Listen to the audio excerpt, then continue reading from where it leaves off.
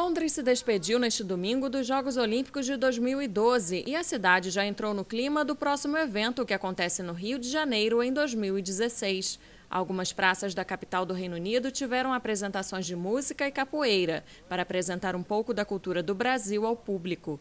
Este também foi o objetivo da Casa Brasil, montada para funcionar durante os Jogos Olímpicos e Paralímpicos em Londres.